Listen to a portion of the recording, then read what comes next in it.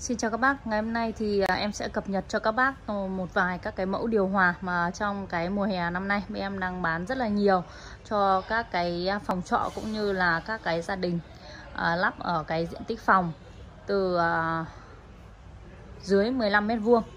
Các bác có thể lắp cho phòng trọ sinh viên hoặc là phòng trọ công nhân. Ờ, cái mẫu ờ, của MyDia này, một chiều 9.000 BTU sử dụng cho phòng dưới 15 mét vuông à, giá hiện tại tại siêu thị điện máy EcoMart đang bán tặng cả công và vật tư lắp đặt là 5 triệu 470 nghìn. Tặng chọn gói công và vật tư lắp đặt. Với cái giá tiền như vậy thì các bác chỉ việc là mang về dùng thôi. Bên em lắp đặt chọn gói luôn.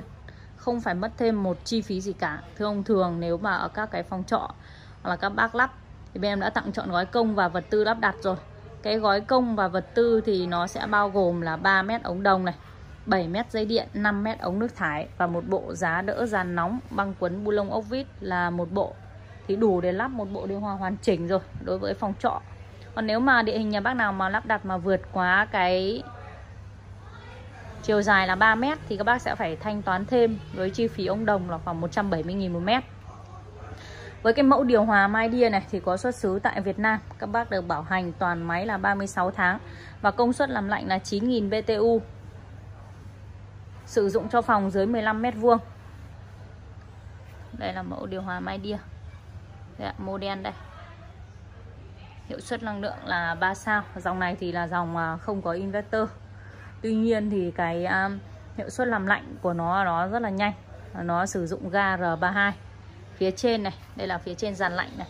Dàn lạnh thì sẽ có lưới chắn bụi như thế này. Các bác rất là dễ để tháo ra vệ sinh. Đây là mặt dưới đây là cửa gió này. Đấy, thiết kế. Thiết kế của cái mẫu mai đia này thì cũng rất là đẹp. Các bác lắp ở phòng trọ. À, lắp ở các phòng nhỏ dưới 15 mét vuông. Làm lạnh rất là nhanh.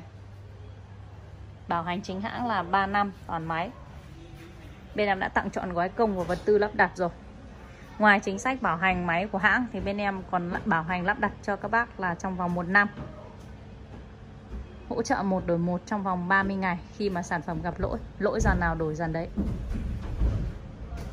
ngoài ra bên em cũng đang có rất là nhiều các cái mẫu khác thì em sẽ cập nhật trong các cái video sau.